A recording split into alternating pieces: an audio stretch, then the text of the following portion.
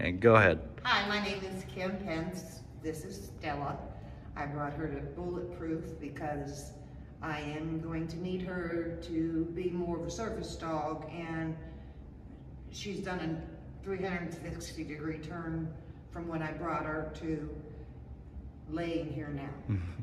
So she's done wonderful and I'm extremely pleased.